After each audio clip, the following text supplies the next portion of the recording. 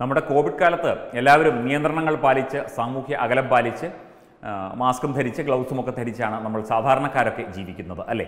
ഇതിപ്പോൾ മാസ്ക് ധരിക്കുന്നതിന് പ്രത്യേകമായി നിയമം കൊണ്ടുവന്നിരിക്കുന്നു. പകർച്ചവ്യാധി നിരോധന അല്ലെങ്കിൽ പകർച്ചവ്യാധി നിയന്ത്രണ നിയമത്തിൽ പ്രത്യേക ആക്ട് അതിൽ പ്രത്യേകമായി കൊണ്ടുവന്ന് അതായത് ഒരു വർഷത്തേക്ക് മാസ്ക് നിർബന്ധമായും ധരിച്ചിരിക്കണം. പിഴ പതിനായിരം രൂപ വരെയാണ്.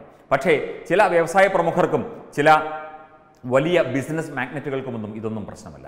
കോവിഡ് കാലത്ത് പെണ്ണുങ്ങളെ വരെ കൊണ്ടുവന്ന് ബെല്ലി ഡാൻസുകാരികളെ വരെ കൊണ്ടുവന്ന് ഇവിടെ നിശാനൃത്തവും മദ്യവും മയക്കുമരുന്നും ഒഴുക്കി. കൊള്ളാമല്ലേ? ഇവിടെ പോലീസുണ്ട് ഒരു ഭരണ സംവിധാനമുണ്ട് എല്ലാവരും നോക്കി നിന്നു. വാർത്തയിലേക്ക് നോക്കാം. കോവിഡ് മാർഗനിർദ്ദേശങ്ങൾ ലംഘിച്ച് നിശാ പാർട്ടിയും ബെല്ലി ഡാൻസും സംഘടിപ്പിച്ച വ്യവസായിക്കെതിരെ പോലീസ് കേസെടുത്തു എന്ന് റിപ്പോർട്ട്. അത് ഈ പോലീസ് കേസെടുക്കുന്നതിന് മുൻപ് പോലീസിന് ഇതൊന്നും അറിഞ്ഞുകൂടായിരുന്നോ എന്ന ചോദ്യം അവിടെ ഉന്നയിക്കപ്പെടുന്നുണ്ട്. ഈ ബെല്ലി ഡാൻസ് നടത്തുന്നതും അല്ലെങ്കിൽ മയക്കുമരുന്ന് കൊണ്ടുപോകുന്നതും അതുപോലെ തന്നെ പല പല കാര്യങ്ങൾ ഇതുപോലെ എന്തൊക്കെ ചെയ്തു എന്ന് ആർക്കറിയാം. പോലീസ് മിണ്ടാതെ നിൽക്കുകയായിരുന്നു. പക്ഷേ അതിനുശേഷം പോലീസ് കേസെടുത്തു. ഇതിപ്പോൾ സമൂഹ മാധ്യമങ്ങളിലും മാധ്യമങ്ങളിലുമൊക്കെ വലിയ വാർത്തയായതിൽ പിന്നെയാണ് ഈ ഒരു നടപടിക്കെതിരെ കേസ് വന്നത്. ബെല്ലി ഡാൻസിനെത്തിയ യുവതികൾക്ക് ദിവസം അഞ്ച് ലക്ഷം രൂപ വീതം നൽകിയതാണെന്നാണ് നൽകിയെന്നാണ് വിവരം. ഇടുക്കി രാജപ്പാറയിൽ നടന്ന പാർട്ടിയിൽ ഇരുന്നൂറോളം പേരാണ് പങ്കെടുത്തത്.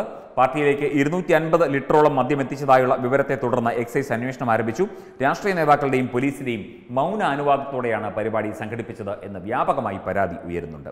കോവിഡ് ഭീതിയിൽ നാട് കഷ്ടപ്പെടുമ്പോഴാണ് കഴിഞ്ഞ ഞായറാഴ്ച ഒരാഴ്ചയായി ആഘോഷ പരിപാടികൾ നടന്നത്. വ്യാപാര കേന്ദ്രത്തിന്റെ ഉദ്ഘാടനത്തോട് അനുബന്ധിച്ചുള്ള രാത്രി ആഘോഷം സ്വകാര്യ റിസോർട്ടിലായിരുന്നു.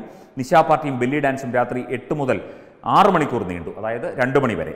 കോവിഡ് മാർഗനിർദ്ദേശങ്ങളെല്ലാം കാറ്റിൽ പറത്തി ഇരുന്നൂറോളം ആളുകളാണ് പങ്കെടുത്തത്. അതുപോലെ വിവിധ രാഷ്ട്രീയ പാർട്ടികളിൽപ്പെട്ട ആളുകളും ജനപ്രതിനിധികളും പോലീസുകാരും പോലീസ് ഉദ്യോഗസ്ഥരും ഒക്കെ പാർട്ടിക്ക് എത്തി. പാർട്ടിയിൽ പങ്കെടുത്തു. പിന്നെ അവർ കേസെടുക്കുമോ?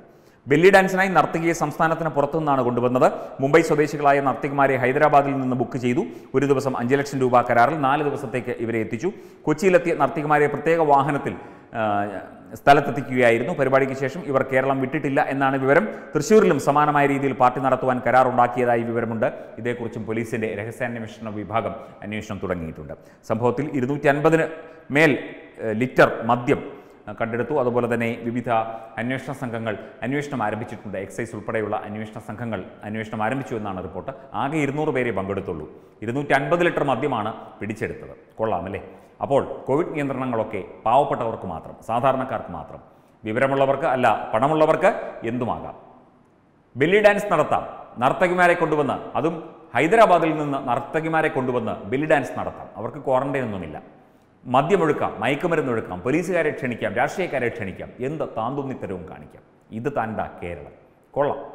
വെബ് ഡെസ്ക് തത്വമൈ ന്യൂസ്.